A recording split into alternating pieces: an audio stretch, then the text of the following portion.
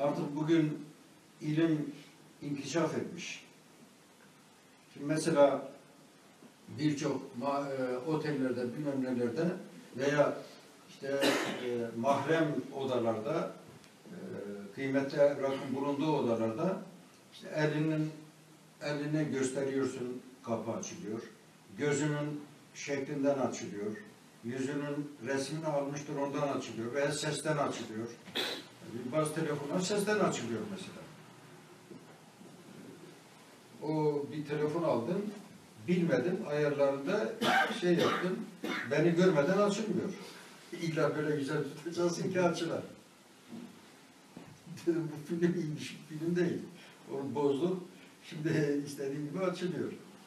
Ne kadar inkişaf etmiş. Şuraya geleceğim. Şimdi biz mesela beş vakit namazda Allahu Ekber diyoruz. Allahu Ekber.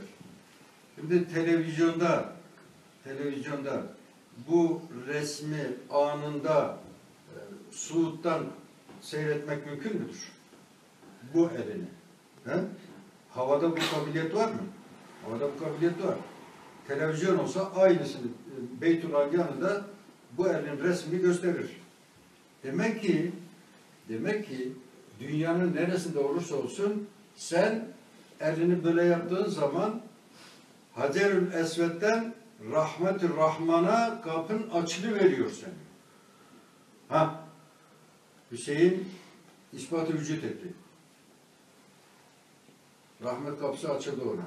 Namazın miraç kapısı açıldı. Bugün artık ilim bunları çok rahatlıkla bize konuşturuyor. Demek ki laletain değil bu. Günde beş vakit tecdid biat ediyorsun. Şeye Hacer-ül Esved'e tevdi ediyorsun diyor Üstad. Hacer-ül Esved'e tevdi ediyorsun. Günde beş vakit. Ben geldim.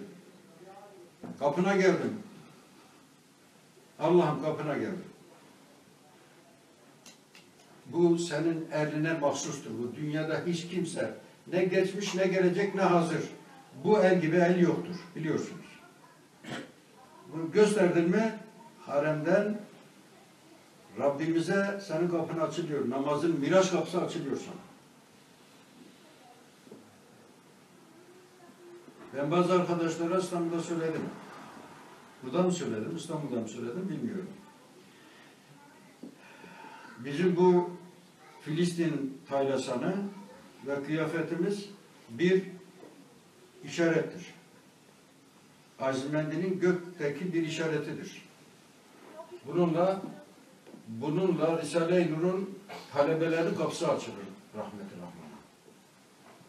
Özelliği var. Özelliği var. Nasıl beş vakit namazda her ümmeten herkes herkes böyle yaptı mı Beytullah'tan ona miracın kapısı açılıyor, namaz miracının kapısı açılıyor. Şu kıyafet de Risale-i Nur talebelerinin, azmendilerin semada tanınma alametidir. Kapılar bundan açılır. Basit değil bu işler. Kim kendisini hangi kavme benzetirse ondandır. Bunlar gün geçtikçe ilim bunları tespit ediyor. İlim bunları tespit ediyor. İlim bunlara doğrudur diyor. Demek ki kıyafet insanı bir yere mensup ediyor. Bir bireye intisap ettiriyor. Onun için bu memlekette tahribata başlayanlar kıyafetten başladılar. 1925'te kıyafetten başladılar. Çünkü kıyafet bir şahsiyettir. Bir mensubiyettir. Bir hakimiyettir. Şimdi çok basit bir şey söyleyeceğim. Herkes hayal etsin. Bizim bütün dualarımızla desteklediğimiz Erdoğan Başkan ciğerimizi soğutacak sözler konuşuyor. Elhamdülillah. Bir asırdır beklediğimiz sözleri bugün dinliyoruz. Şükürler olsun Rabbimize. Allah daha güç kuvvet versin. Bu sözleri sarıklı, cübbeli bir kıyafetle söylediğini düşünün. O zaman dünya dayanır mı bu sözlere size soruyorum. Bu sözlerin bu sözlerin tesiri kaç misli?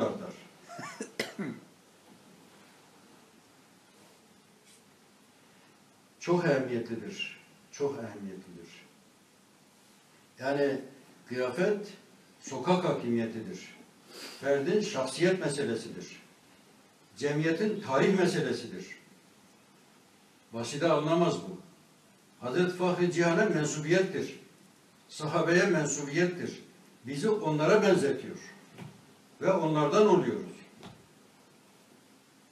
Öbür kıyafette kime benziyorsa ondan oluyorsun.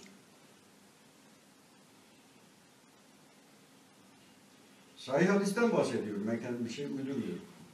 Kim kendisini hangi kavme benzetse ondandır. Kalbinden marbinden bahsetmiyor ha. Benzetirse. Düşünün.